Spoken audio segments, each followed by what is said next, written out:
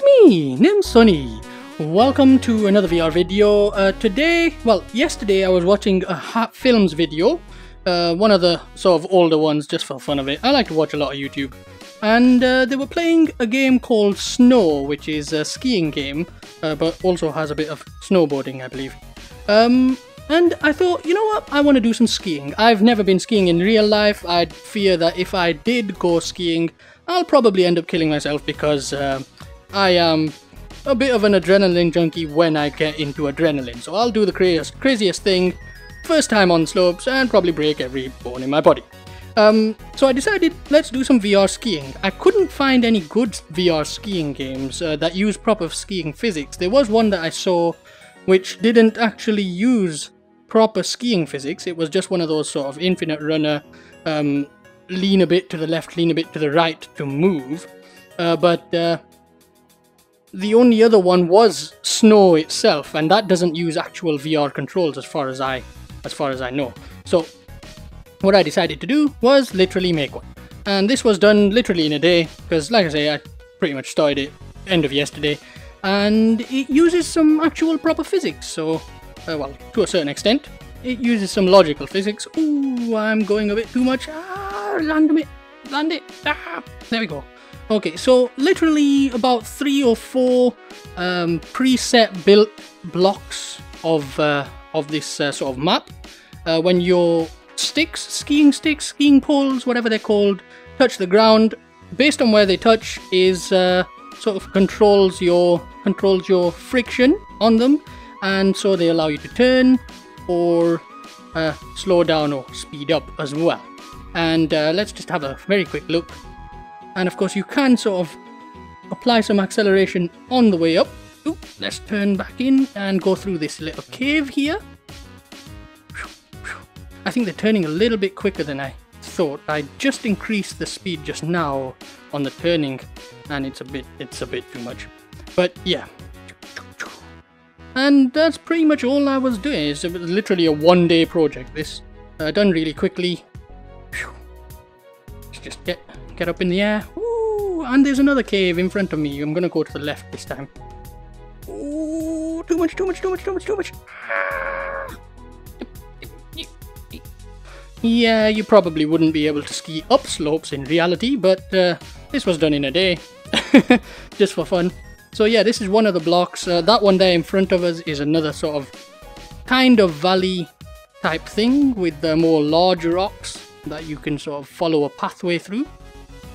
These trees were just taken from the asset store, the textures were just found on the net.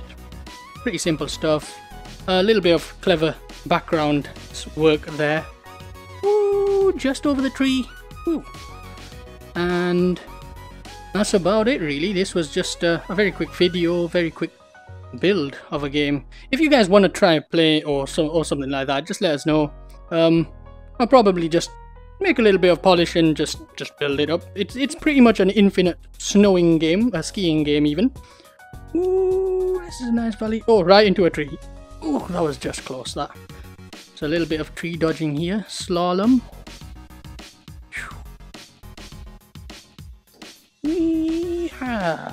A quick spin and land it. There's no ragdoll or falling off your skis or or even proper crashing or anything. It's literally just this. Let's try a double. Ooh, I made it. Oh, I'm falling, I'm falling. There we go. It's literally just this.